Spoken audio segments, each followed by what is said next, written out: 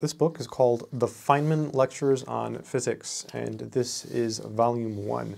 It was written by Richard Feynman, who won the Nobel Prize. So I thought I would make this video because a lot of people have been asking about physics books, and this one is super famous. Also, this one is free. That's right, you can get this one for free, or you can actually buy the physical copy too, um, like I did. I will leave links in the description of this video in case you um, want to look at the free versions or you want to uh, buy the physical copies. I definitely prefer the physical copies. Yeah, this is, this is an epic book. This book is sophisticated, so I would say it's not like the best book for beginners. Um, even Feynman recognizes that. You know, his feeling was that many students might need to use like a standard book on physics before being able to grasp this. And so after knowing some physics, you know, jumping into Feynman's treatment, which is just legendary, um, is a good idea. Let's look at the copyright. This book is really old. Copyright 1963, printed in the United States of America. This is the second printing from July 1964. And here's Feynman's preface.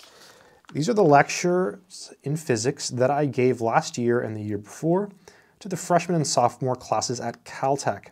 The lectures are, of course, not verbatim. They have been edited, sometimes extensively, and sometimes less so. The lectures form only part of the complete course. So let me just emphasize that, again, this is a three-volume set. So volume two covers electromagnetism and matter, and volume three covers quantum mechanics. So what does this one cover? Let's just take a look at the contents.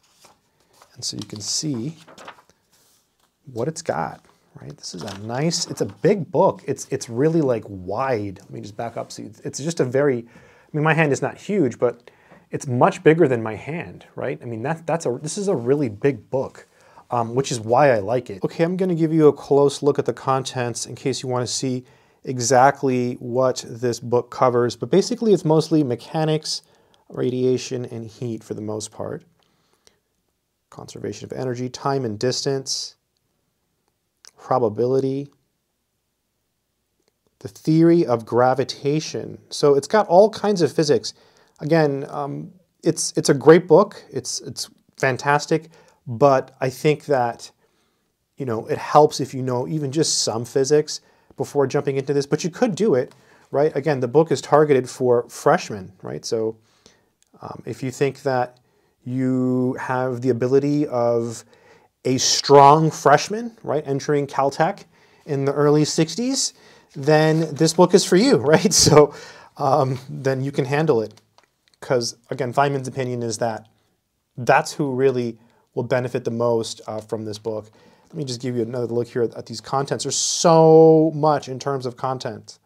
I mean, just tons of information, right? I mean, ridiculous. Wow.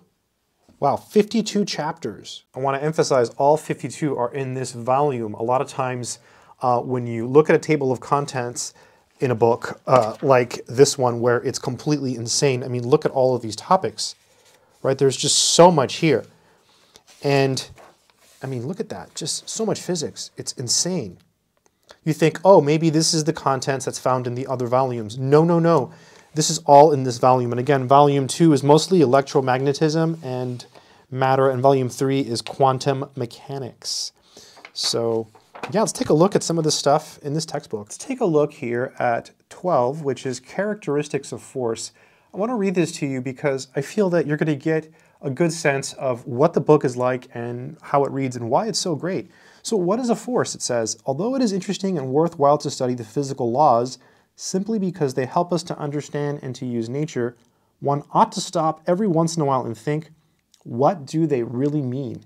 The meaning of any statement is a subject that has interested and troubled philosophers from time immemorial. And the meaning of physical laws is even more interesting because it is, generally believed that these laws represent some kind of real knowledge. The meaning of knowledge is a deep problem in philosophy, and it is always important to ask, what does it mean? Now here he goes into a little bit of physics. Let us ask what is the meaning of the physical laws of Newton, which we write as F equals ma. So that's one you've seen before, right? F is the force, m is the mass, and then a here is the acceleration. And here he says, what is the meaning of force, mass, and acceleration? Well, we can intuitively sense the meaning of mass, and we can define acceleration if we know the meaning of position and time. We shall not discuss those meanings, but we shall concentrate on the new concept of force. The answer is equally simple. A body is accelerating, then there is a force on it. Awesome, right? That is what Newton's laws say, so that the most precise and beautiful definition of force manageable might simply be to say that force is the mass of an object times the acceleration. Yeah, so there you get an idea of, you know, just a little piece of the book, and it just makes you want to keep reading. And honestly, I was reading it, so I want to keep reading, but uh, I don't want to bore you by reading the entire book.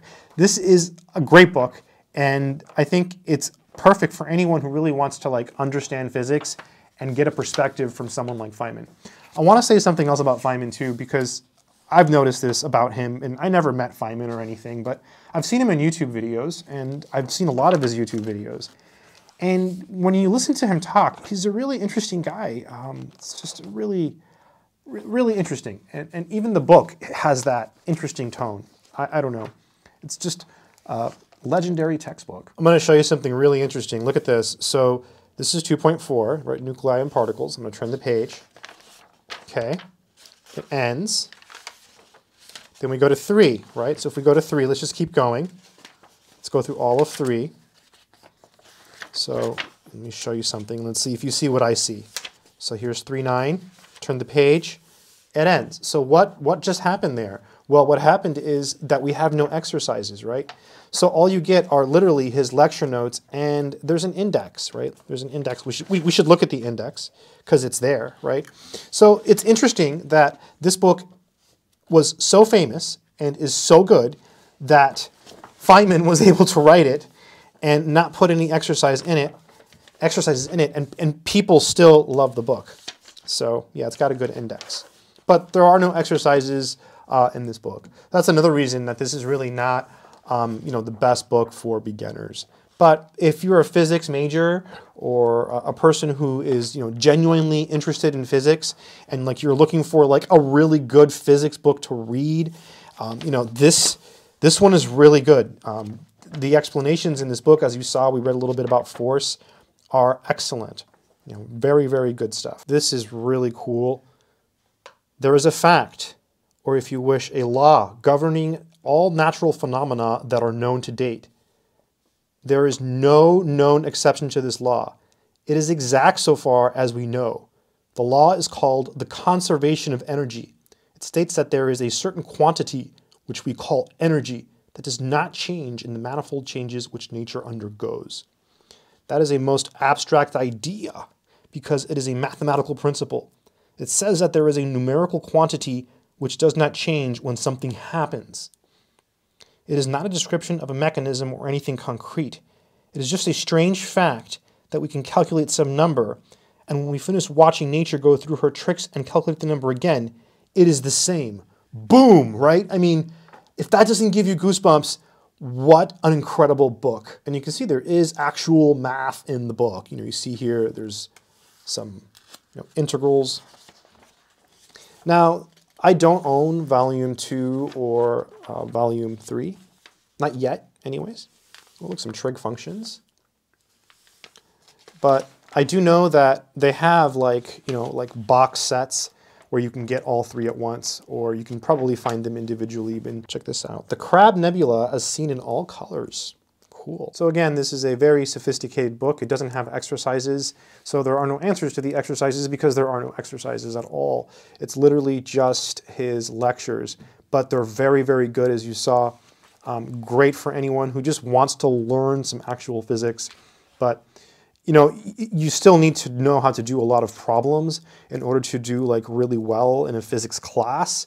So if you're taking physics and you're trying to get better like in your class, I mean, this is still going to help you quite a bit. It's gonna, definitely going to give you a deeper understanding, but the big, the big con to this one is no exercises, but otherwise legendary. And again, it's incredible that like this book became so famous and it's so well known despite the fact it has no exercises. I think that's a testament to how awesome this book is. But yeah, until next time, good luck, take care.